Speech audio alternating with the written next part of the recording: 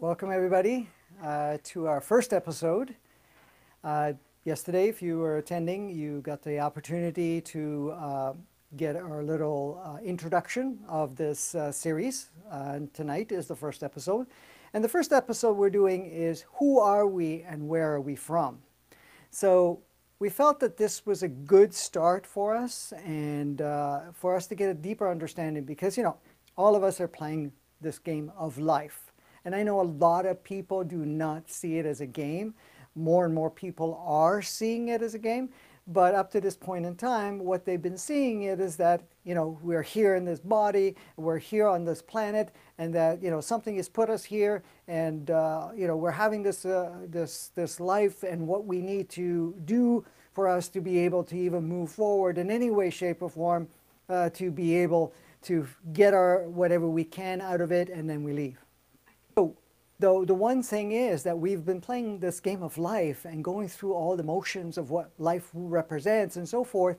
And we tend to take the, the essence of who we are, that you, we had a very good strong taste of it as we were a child, and compress it right down to a whole series of belief systems and ideas and concepts and, and the fact of even forgetting that we're much more than this physical like, representation and experience. So we end up playing this game as this is it. And we only use our external reference point to define who we are. Okay? And the thing is, when we start to define who we are by that set of circumstances or that set of viewpoint, what ends up happening is we make our world very small. We lose the connection that we may have had at different stages in our life or prior to taking on this life and really lose that we are much more than what we are experiencing in a human uh, perspective or what we are experiencing in this human form. So to bring things back into alignment and to really understand a little bit more clearly who we are, then that actually shifts a lot of what we have adopted as ideas of who we are. Now, the thing is, who we are is also kind of open for interpretation because once we come into the body, we open ourselves to an opportunity to kind of see what the world reflects back to us. Other playmates, being family, and others around us. And also anything that we adopt as a way of life and then start creating a picture of this is who I am. Now, many cases, who I am is defined by our gender, and everything in between that. But the genders are not limited to one or the other or something, a mix of the two or anything of that nature. It is genders based on uh, uh, what we call uh, different traditions and genders of different cultures and genders of different races of, of uh, life and, and so forth. So basically, uh, what dictates it is where we're born and who we're surrounded by what a male or female or something in between, moving between the two, actually represents. So that's the first part. So we, we have the gender part. The other part is then we adopt the culture, and not only the, we go to the gender, now we're talking about the culture. We start uh, uh, saying, okay, I am this particular culture, I am this belief system, I am from this family uh, tradition, and so forth. And we start to uh, label ourselves based on that uh, along the way what we experience in life while we're in school, while we're learning, while we're playing, while we're experiencing different stages within our lives, we adopt ideas that I'm this or I'm that, I'm good or I'm not so good, that I'm a professional in this area, I'm not in a professional, that, I've, that I'm successful or I'm a failure, and all of these things, or that in some way we end up feeling that uh, our experience uh, really kind of shapes who we think we are. Because this is what really nails it all down to is who do we think we are? Is it really who we are? No. but it is something we adopt. It's something that we utilize as part of our experience to give us the opportunity to have those experiences. Of course, then when we, as we grow up and we go through stages in our lives, we make new choices, choices of career, choices of playing various roles, going into a family dynamic of your own or not, or engagement with friends and, and family dynamics of any sort at this point in time. And then you become a mom or dad, you become, you know, a brother or sister, then we become, you know, a profession being that, you know, I work as a server or I'm actually a doctor or I'm a lawyer or this or that or whatever it may be and everything in between. And we start to label all of those things. There's a grand purpose for all that because when we adopt those things, we limit the channels of what we experience to give us the opportunity to really get into the depth of those experiences. Now, the purpose for those experiences really to learn from it and to also clear out any particular ideas and concepts that we may have taken on from possibly past lives or in the fact of what we have adopted. See, we've come here in a way to, to experience a transformation. So part of the transformation is to get right into the depth of it and de define ourselves who we are. But that is again very limited. It's an opportunity for us to experience it, and to experience it and transition it. And this is what we're doing right now. We're actually going through a powerful, energetic movement, a consciousness movement, an awakening, a reconnecting, and, and starting to see more of ourselves than what we have used up to this point in time as a reference point, that I am this physicality, that I'm human, I am this and this and this and this, going outside of that. Because if you look at it, when we adopt all those components of reality within ourselves and belief systems and so forth, we actually experience ourselves on that level. So we actually go and, and get to the point where we can experience all of those things that we've uh, created within ourselves as a dynamical, uh, what we can call uh, archaic or let's not call even archaic, uh, like a, a, very elaborate video game that has only certain sections activated, certain parts that we can play with and so forth. So with all of this that's coming through at this point in time, we're basically reconnecting to a knowing, which we already had in there, but opening that part up and realizing that I am more than this physicality. And I'm here to play and I'm here to transform. I'm here to do a lot of different things that we have chosen to, to experience and play. So in essence, what we're doing is remembering more and more that we're outside of this human existence. It doesn't negate the human existence. It does not negate the physical aspect of ourselves. It only enhances it because now you start to realize that you're not the game. You're in to play the game and you can go into the depth of the game you want with a reference point that now you can move in and out of how deep you want to play the game, what parts you want to put into the game, and how quickly you can move through the ranges and stages of your life. So as much as you have had all these stages in your life, all of them have served you in one way or another, and all of it has been perfect. However, now what we're going through is we want to upgrade the human experience. We want to upgrade the playground of what we call planet Earth and what we are experiencing at this point in time, or have been experiencing. Now, I will get into the other series, or uh, sorry, the other episodes where we're going to talk about the operating systems and so forth and get into the depth of how all of this came about. But not only that, to understand it, how can you shift it and so forth. But the first thing we want to realize, who are we? And where are we from? Because that's the other question. Because there are people that basically says, okay, well, you know, God, source, uh, some deity or something, you know, created us and sent us here, and here we are. You know, we are here. And, uh, but we come from, you know, a heaven plane or we come from, from a field plane or something of that nature. And in some cases, some people are connecting to other lives that we may have had uh, from a soul perspective and say, well, okay, yes, I was a Pleiadian once, I was this then, and so forth. That's who I am. But the, that's the same thing. The moment you're carrying any of that, you're bringing in that energy and saying, okay, I'm, you know, looking at one label, but I'm just going to add another label and say, well, I'm this. Okay? The point is, you're not. This is the thing. We're not anything but we're also everything. And where are we from?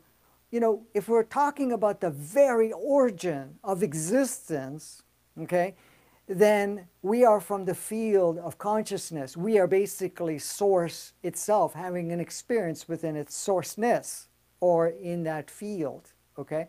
The field of consciousness, the field of creation, the field of energy that creates and sustains everything. So we're never outside of it. So in essence, just because we are coming from there and have visited other playgrounds and became involved with various playgrounds does not mean we are those playgrounds or the roles that we have taken on because it doesn't matter if we were a being in another planet that we you know that's who we are that's not the case we are really source itself having this experience or whatever experience you may have had before. So when we're looking at it, you say, well, I am what? I am everything that is expressing itself in this created playground and how we've decided to come and play and create this holographic projection and go through the motion of experiencing what we are here to experience. So are we from another planet? No, no one from an origin is from anywhere because when we start look at the origin, the origin itself, there was non-existence. Okay? Non-existence, but there is existence, meaning that there was no playgrounds, and then we created playgrounds, and then started to experience ourselves in playgrounds, and the involvement of these playgrounds involved having physical forms as to interact and to explain and experience ourselves within the playground. So it's like it's great to have a playground, but you need to go out and play in the playground. So what do we need as a playground? Well, let's have a vessel, a vehicle, or some way of expressing and experiencing. And that's what these forms are all about. I mean, as much as there's many, many, many planets and many, many different forms of physicalities out there, and uh, many different planes to play with, and all different dimensions. And dimensions really are dimensions of consciousness, how we create, how much consciousness we plug into our creation. All of that is available and all of that is what we've experienced. Now, I'm going to dissect who we are a little bit more so that we have a deeper understanding of how all of this works. The purpose of going into this is not only getting the understanding, but it actually creates a shift in your operating system, a shift in your consciousness, a shift in your mind construct, and it also shifts your own physicality. But not only shifting that, it actually opens up portals of energetic channels of consciousness within yourself. So that gives you the opportunity to really be more empowered in the navigation aspect of your journey and the co-creation of this playground we call Earth. So all of that is coming together. So the, the stimulation that we've been experiencing up to this point in time to uh, really reconnect with ourselves and bring the part that went dormant for us as part of that older uh, way of having the human experience is so that we can actually integrate more of that consciousness and abilities to, to what we can create. Now, it's not about us fully awakening and becoming source again. Eventually, we will choose to do that. But that is not what we're doing. We're just awakening other levels of access and consciousness and still retaining the ability to play on planet Earth in this physicality as long as it serves you. When it doesn't, you can move on and go into non-form for a period of time before choosing another form either on this playground or, or, or multiple multitudes of other playgrounds.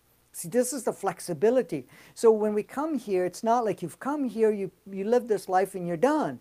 You come here, you play here, you experience here. Once you're done, you go on and decide what you want to do. You can come back on the planet, taking on a different form, in a different culture, in a, a different life stream altogether, a, a different gender, and through different terms or you can choose to go into another form or end up being a non-form and creating a, a, space to hold the consciousness and work with other souls that have chosen to, to take on form.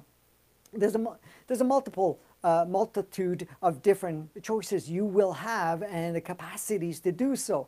So, this is the beauty of all of this because once you get more of that realization, you come to the point where you see that the options, the availability, the, the, the way you can shape things really open up and expand in a huge way.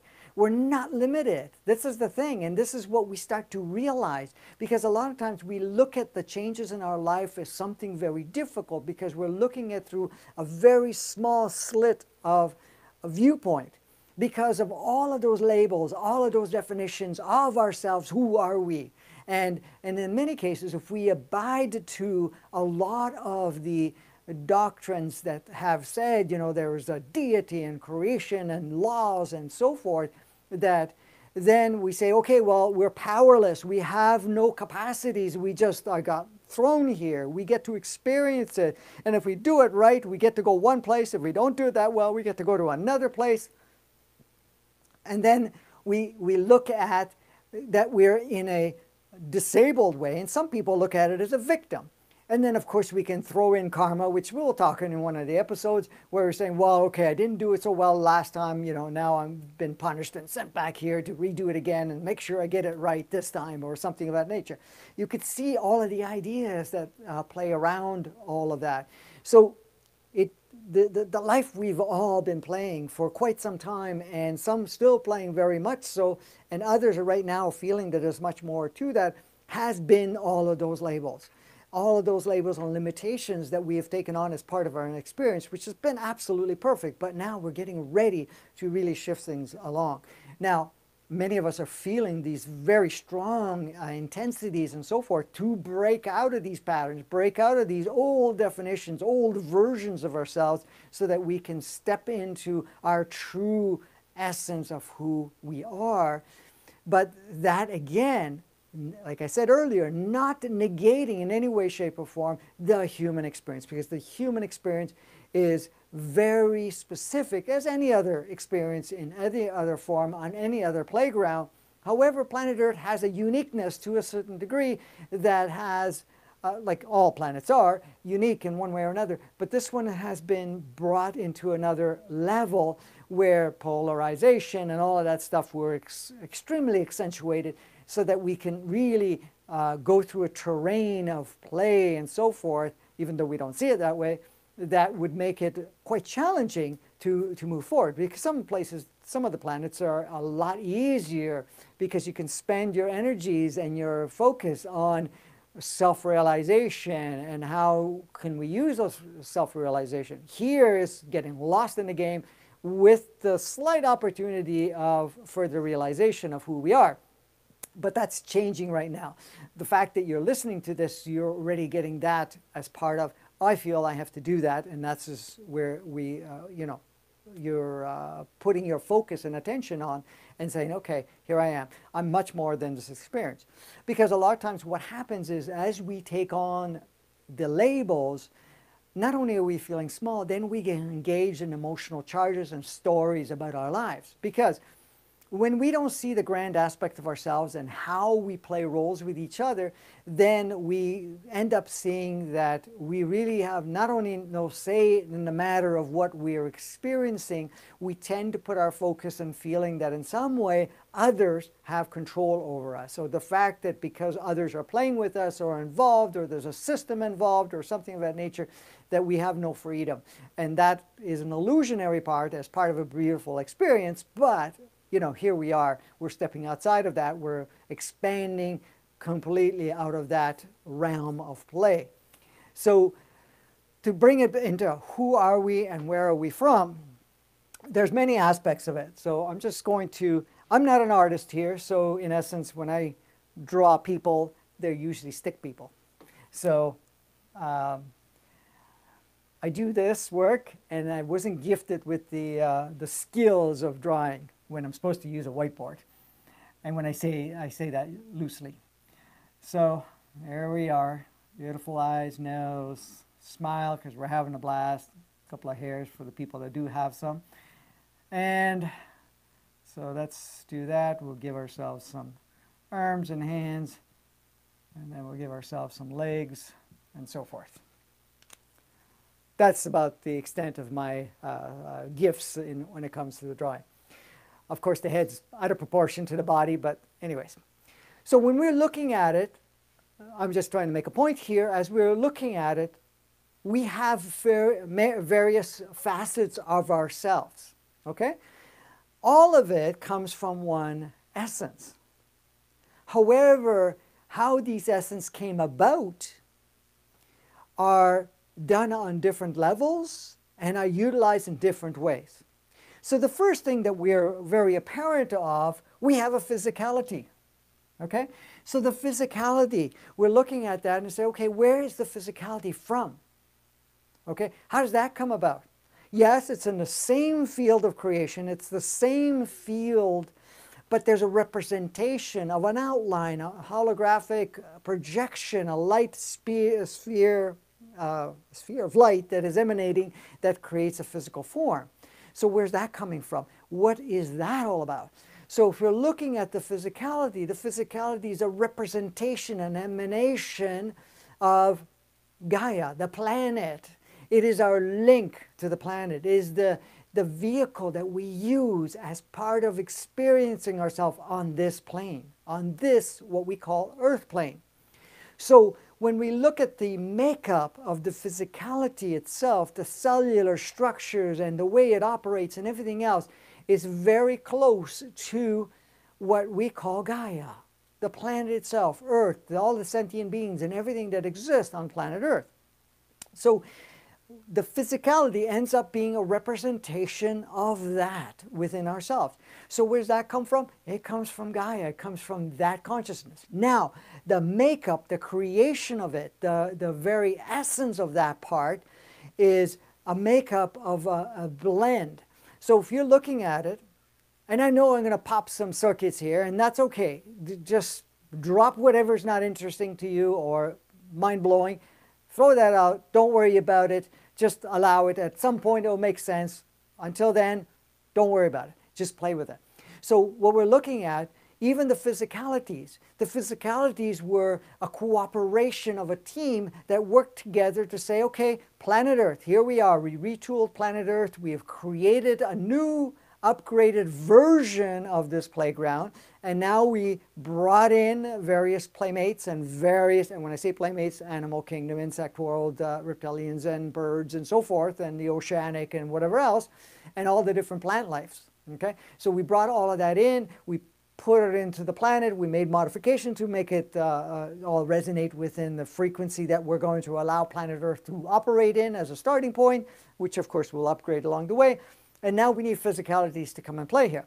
Now, because of the positioning, and I will get into it in another series, we'll go deeper into that, but because of the fact that we wanted to create a, uh, in this particular cycle of our uh, existence, we wanted to create a physicality that would feel at home with a variety of different species. So what happens? We created a physicality using the very elements of creation that actually create form, and we blended it. So basically, we took five different primaries, prime, or what we can call DNA, or species that were connected to that. And then, of course, we had seven secondaries.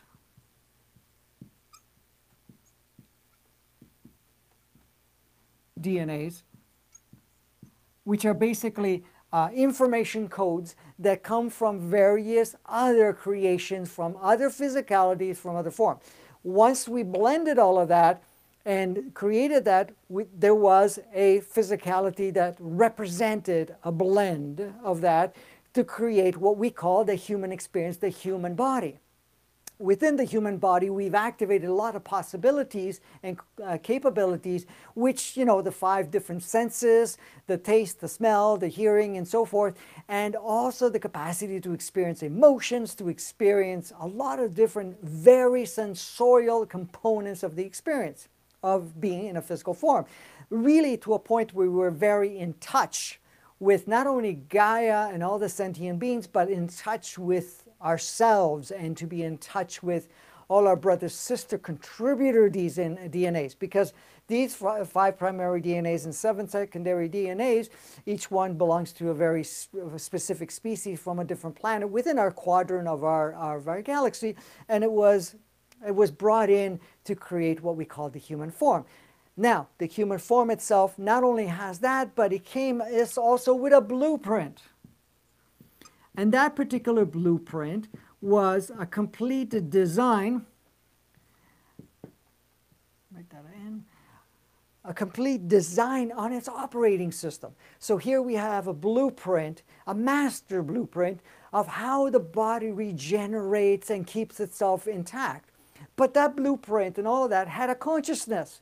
So what we call innate consciousness, the consciousness in itself, how to maintain that consciousness, not only from what it was receiving from that, but also what was it receiving from the planet itself and all the sentient beings, because we are still receiving that information constantly. And this is why a lot of people talk about grounding and walking in nature and so forth, because we receive much more information from all of that. So that is happening at this point in time. So here we are, we have this physicality that is a beautiful blend, a, quite a creation.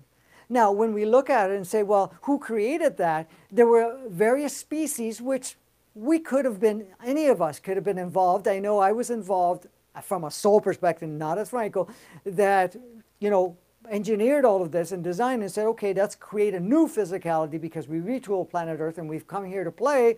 So let's create something very diff uh, different um, than before. That's it. Now, the reason we've used also various um, DNAs or encodements or what we call genetic encodements from the different species is that those staying active, we would be receiving and transmitting uh, a communication to upgrade our operating system of our physicality, but at the same time to maintain a connection with the different races that were contributors of their genetic encodements and so forth. So all of that became part of it. So that's the first element and say, okay, well, this is the physicality that we have and this is what has been uh, put into place that we are utilizing as part of it. Now, the second part of it is we had what we call a human entity. Okay? And that is in around the solar plexus. So if we're looking at the root chakra, the root chakra is our connection to Gaia and so forth. The sacral is, is a connection, what we call, and I will get into this more uh, along the way in different, uh, uh, in other episodes. So we also have what we call the human entity. A human entity is almost like a soul.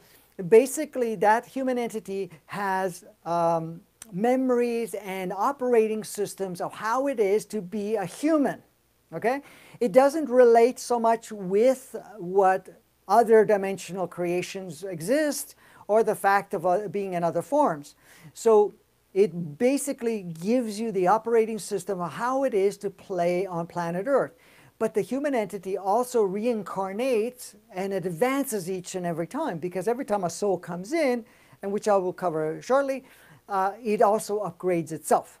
So in essence, when we're looking at this human entity, what is it? It yes, it's from a source aspect of it, but it is now tuned and uh, uh, what do you call it? Tuned and programmed to be uh, reincarnated, but from a human perspective, in on human terms, being on planet Earth. Okay, so it's basically a version of uh, soul that only uh, reincarnates or takes on form on planet Earth.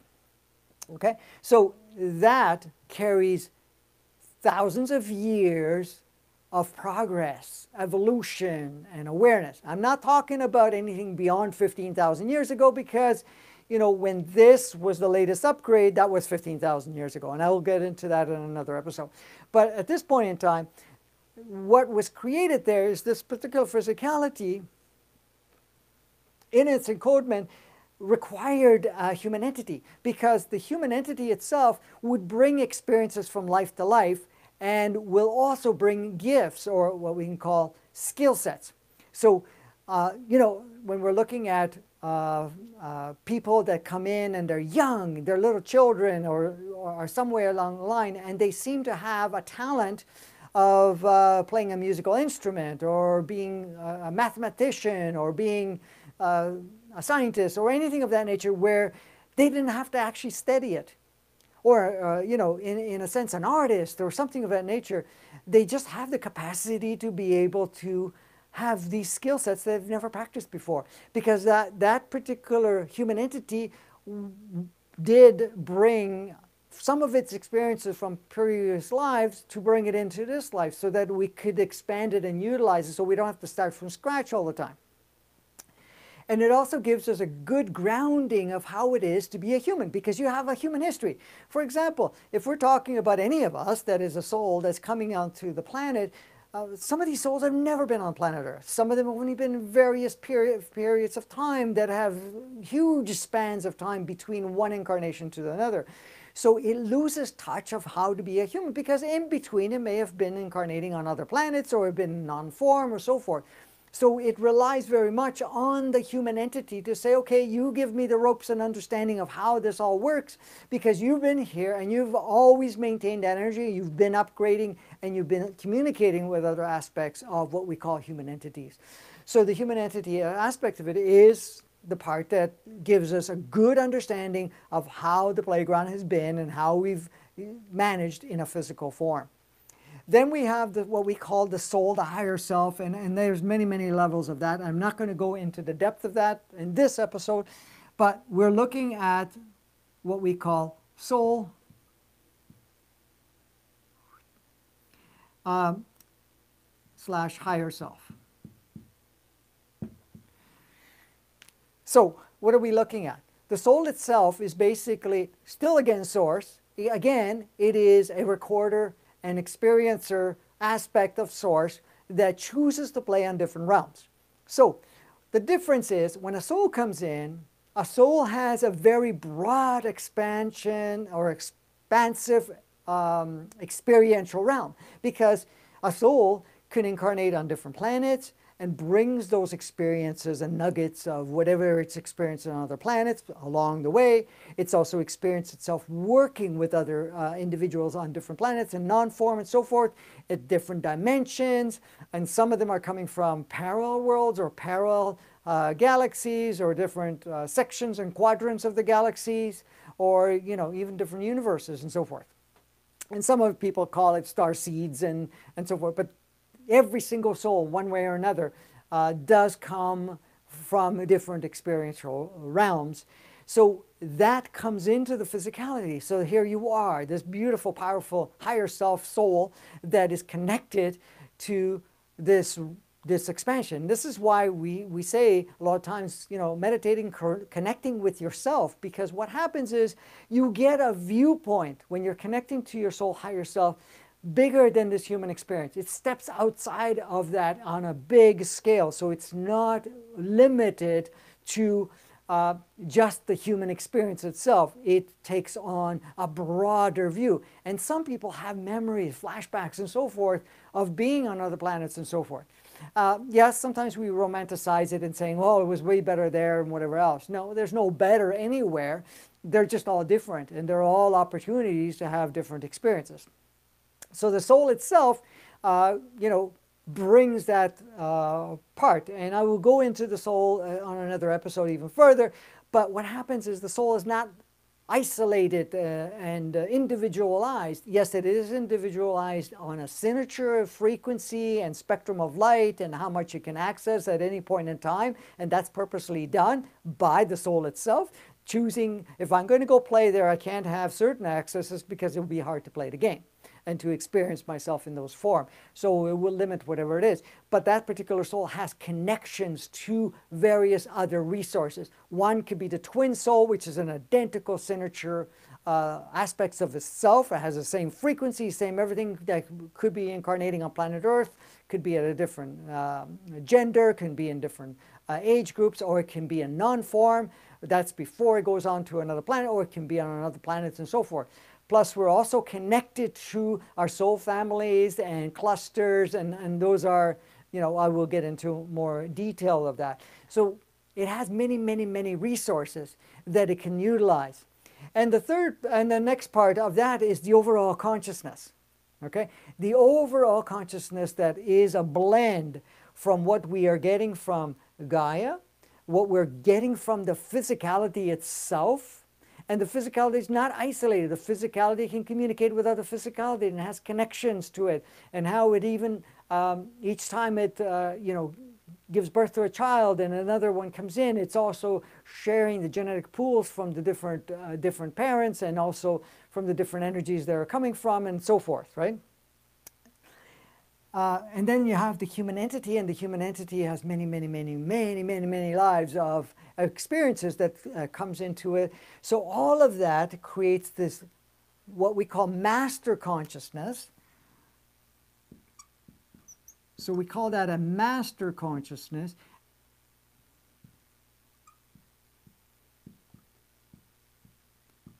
I'm not going to have room to write all that next. So we have a master consciousness, and that's the one that asks the questions. That's the one that we have. We're not talking about the dialogue of the ego because that's a whole other perspective, all this the same. So the master consciousness is basically taking all of these resources and experiencing ourselves with a combination. Now, the soul, what it has to offer and brings, helps upgrade the body, upgrade Gaia, upgrade uh, the human, uh, what we call uh, the human entity, and also the whole way it plays, the like the energies that it transmits on a collective scale. So it's bringing all of that to the mix. So this is that's what makes it extremely powerful. Now, the same thing with, with the human entity, it says, okay, I have offerings here because you have less skills and experience being human, so we're going to uh, allow you to learn from it so that you can take it anywhere you go afterwards, but working together. And the same thing with the body. The body has its innate consciousness, and it says, okay, I know how it feels to be in the body. I have that connection with Gaia and so forth.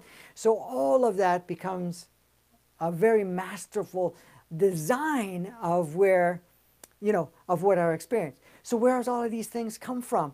Well, it's all from source. It's all from that pure essence of creation, a pure essence of existence.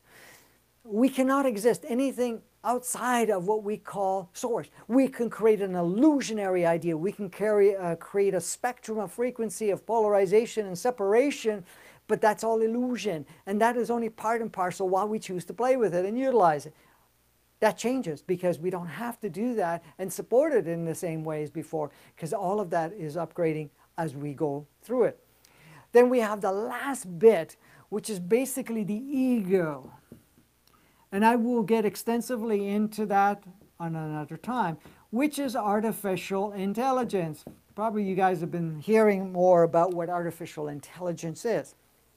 To make things super interesting and uh, exciting in the dance of life and to really give ourselves a challenge, uh, we accepted, and when I say we, whoever was participating at that time, whatever souls were embodying at that time about 10,000 years ago, accepted an offer to be able to take on an operating system and an, uh, uh an additional inverted type matrix to have our experience more challenging. And one of the things came, it needed software, it needed something else. So we have the mind, which is the master consciousness.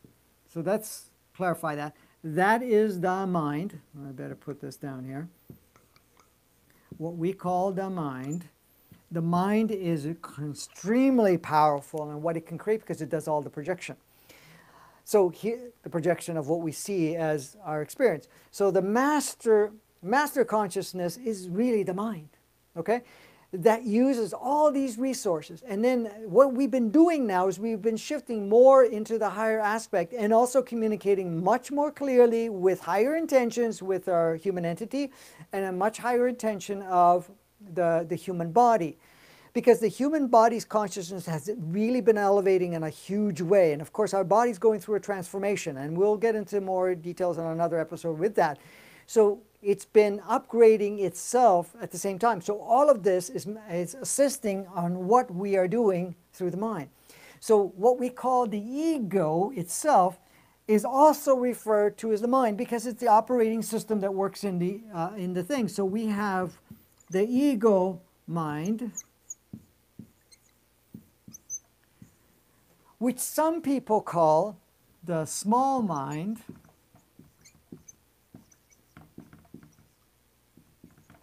and then the large mind being the main one.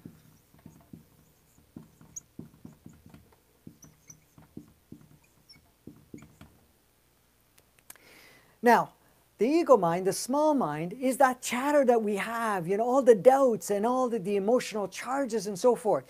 This part is saying, okay, we're creating whatever, we're working in cooperation here with all of these alignments within ourselves. We're going to walk through this and we're going to experience whatever we need to experience and so forth. And it's also communicating and upgrading itself. The ego mind's done the same thing, but there's two different things. The large mind, with every part of it, has one major uh, intention, and that intention is to evolve, to expand, to become a grander aspect of itself, to really reach higher levels of consciousness and dimensional plainness in the playfulness part. So it what it does at that point, what it's doing, it's always force, uh, not forcing, but focusing on going into higher and higher levels of beingness and upgrading the playground and also the human experience. The ego mind actually works in reverse. So the ego mind with the inverted matrix, again, I'm just giving you a little tidbits, we'll cover a little bit more of it in another episode. The ego mind itself, its purpose and intent is different. It's about de-evolution.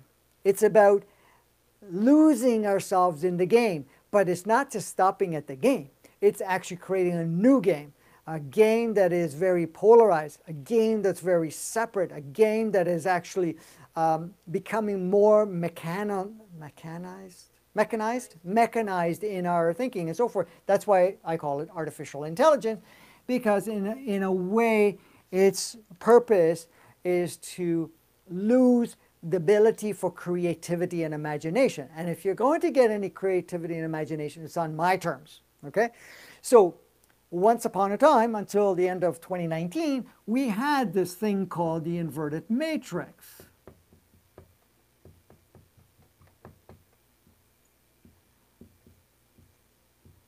And that was all designed in the same to operate with that operating system. So this gives you a base idea of how that works and who you are and where you're from. So when we're looking at it, this human experience is something of a marvel, okay? And in a way, you've come here for that purpose, to have that experience. Now, we're going to go into the next episode more detailed on how all that works. But here we are. This particular aspect of yourself, who you are, is basically, when you look at fundamental, you are source itself expressing and experiencing yourself on different levels of playground and vehicles to become a grander aspect of yourself. As source, there is no good or bad, right or wrong. As source, everything is a play. And even the polarities of light and dark and all of that stuff, right and wrong, good and bad, were created, even though a lot of it was all created within this part of it, is coming together again to basically look at it and go into that what we call the zero point, neutrality, what we call oneness, in a sense where we see ourselves as what we are, the master creator, because that's who we are. We are a master creator that has created ourselves and are experiencing ourselves in that creation. We're in the field of all sourceness, of all possibilities. And the thing is, the beauty of all of this, and I will cover this in other episodes, the beauty of this, we've gone into a stage of our life where we are transitioning, or we're transitioning to actually use more of that consciousness in our creation. And so it's not so much of a manifestation of what we've created before or a duplication of that. We're going into new levels of imagination and creation.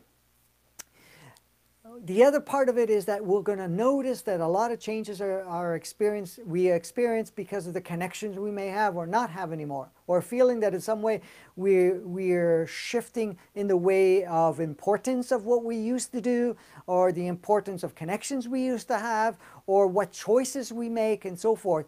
But that's just because we're upgrading within ourselves because we're choosing to really transform that part of it. So this gives you an idea that you're not just this experience and you're here now. And, because what happens afterwards? Look at it this way.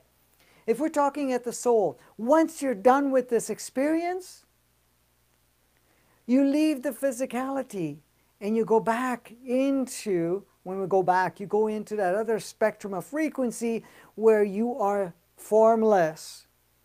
And decide later on what form you want to take or not, or what role you will play at different stages.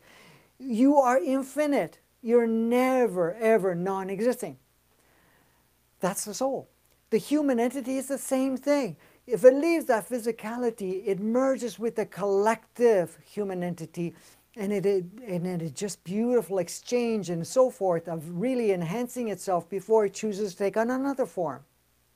And all of this is so well orchestrated. The same thing with the body. The body consciousness goes back to Gaia, within Gaia itself, and, and uh, what we call planet Earth, and, and connects with that.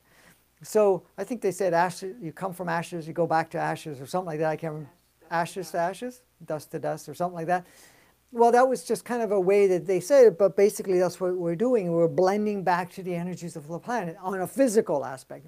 But everything that we've learned and experienced is now going into collective, uh, what we call the planet itself, which is helping other uh, feel. So whatever you are streaming to Gaia, uh, it is also streaming to others as they come into the playground other physical forms. It also enhances the, the uh, consciousness within, the innate consciousness of, of the physical form. So uh, the question that people come up with is like, okay, yeah, you know, here comes somebody, they, they, they do so much, they learn so much and so forth, and then they die, okay? And then all of that is lost. Not at all. Because what happens is whatever's been experienced in, the, in what we call the mind, the larger mind, into the collective. So it's available for every other playmate that's on the playground itself that is allowing itself to be exposed to that level of consciousness.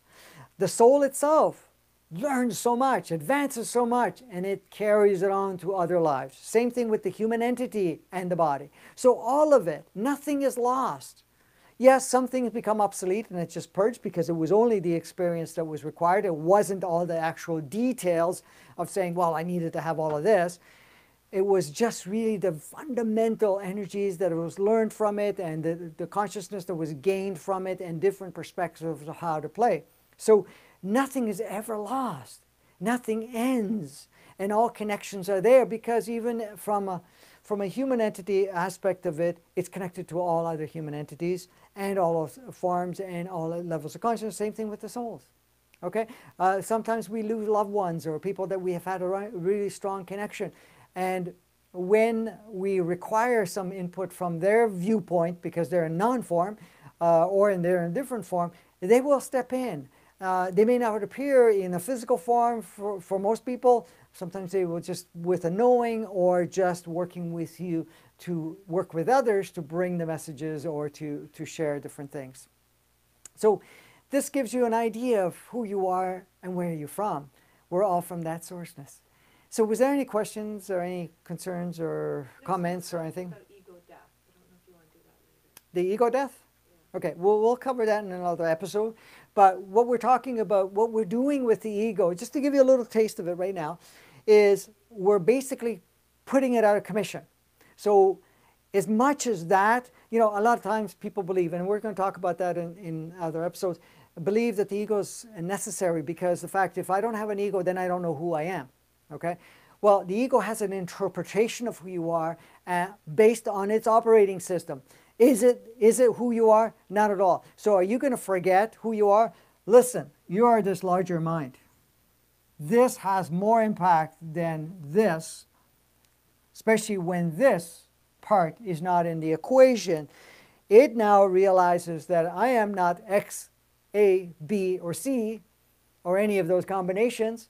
I am infinite being having this human experience, and these are the roles that I'm taking on. This is what I'm playing with today. This is what I choose to play with today. And this is the role that I take on and put a representation to it. Nothing more. This is the beauty of it all. Okay? You don't actually lose your identity You expand your identity. And you don't even make that as a solid identity because, in fact, that's the last thing you want to do. You want to be flexible. You want to be in a, in a position that you can utilize every part of it. So, this is the, the, the, the part that we play with when we're actually putting the ego out of commission.